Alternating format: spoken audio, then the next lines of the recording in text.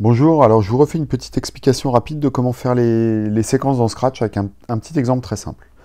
Ok, donc je vous lance la séquence. Salut Dino, viens voir par ici. Hey, salut Dino, viens voir par ici. Bouge pas, j'arrive. bouge pas, j'arrive. Ok, donc là on a vu une petite séquence en deux plans. Euh, je vous mets le, code, euh, le code des deux, euh, des deux parties qu'on vient de voir. Alors, il y a le code qui correspond à Scratchy et il y a le code qui correspond au Dino. En fait, l'idée euh, pour ce type d'exercice, c'est de ne pas utiliser systématiquement des attentes et d'avoir les deux dialogues qui se répondent uniquement parce qu'ils tombent dans les trous de l'autre, mais vraiment d'envoyer comme un bâton de parole, on va dire, c'est-à-dire de passer la parole au suivant. Donc ici, par exemple, on a une phase en rouge, c'est la phase d'initialisation, donc dès que c'est cliqué, euh, vos lutins, débrouillez-vous pour qu'ils aient déjà les bons costumes, la bonne taille, qu'ils soient au bon endroit. Vous pouvez les régler le volume s'ils vont parler. Euh, marquez aussi, j'ai pas précisé ici, si vous faites de la synthèse vocale, précisez la langue dans laquelle ils vont parler et le, la langue et le type de voix, parce qu'il y a différentes voix. Mais je vous conseille d'enregistrer vos voix. Le but ici, c'est de parler espagnol euh, pour ce, cet EPI qu'on fait. Euh, donc là, je l'ai fait en français, hein, parce que moi, je parle euh, pas espagnol. Mais voilà, à vous de le faire en espagnol.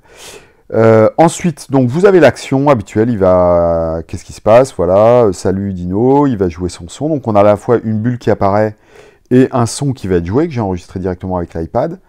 Ensuite, vous pouvez rajouter, regardez bien, un say avec rien du tout dedans. Ça permet d'effacer la bulle pour qu'elle s'enlève, une fois que le son a été dit. Hein, puisque le son, en fait, ça joue until done et après il remet la bulle à blanc. Ce qui fait que vous allez avoir une synchronisation entre ces deux parties. Moi, c'était pas synchro parce que j'ai dû vous refaire les voix en direct, euh, vu que j'ai branché le micro pour m'enregistrer. Euh, mais normalement, dans ma séquence, c'est bien synchro. Et ensuite, vous utilisez la fonction broadcast. La fonction broadcast, elle permet euh, d'enchaîner, de passer la parole d'un lutin à l'autre. Donc, vous allez envoyer un message séquence 01 pour séquence 01 terminée, euh, à tout le monde. Et le lutin qui sait que c'est lui qui parle après, en l'occurrence notre dinosaure, quand il reçoit séquence 01, eh ben, il commence à dérouler un script. Donc il y a un petit bloc qui correspond à ce qu'il doit faire quand il reçoit séquence 01. À savoir, ben, il tourne la tête, hein, c'était le, costume dinosaure C là. Euh, il va jouer un son qui dit ouais, bouge pas, j'arrive. Ensuite, il va repasser sur un son, un costume qui marche mieux quand, qui correspondait mieux à, à sa marche. Et j'ai une petite boucle qui permet de le rapprocher. Donc à la fois je fais varier X, je fais varier Y et je fais varier sa taille. Comme il vient vers moi, il est de plus en plus gros. Ça donne euh, quelque chose d'un peu plus réaliste. Enfin, si tant c'est que ça soit réaliste. Et euh, si vous avez des, costumes comme Scratchy, des, sprites comme Scratchy qui ont deux costumes différents pour la marche, alterner, changer les costumes à chaque fois, ça marche bien. Euh, voilà, et une fois qu'il a fait ça, et eh ben il dit ma séquence est terminée, je broadcast l'information séquence 2, et celui qui doit travailler, celui qui doit faire quelque chose après, en l'occurrence c'était encore Scratchy, euh, ben, c'est qui peut dérouler. Donc quand il reçoit séquence 2, ben, il recule de, moins 15 pas, parce qu'il est un petit peu impressionné, hein, c'est ce qui se passait à la fin, et voilà, suite de l'histoire.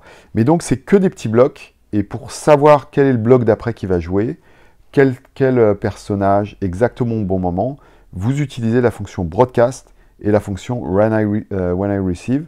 Bon, ça c'est pour le scratch en, anglais. Si vous l'avez en français, je ne sais plus comment ça s'appelle. Euh, je pense que c'est des messages et quand je reçois le message.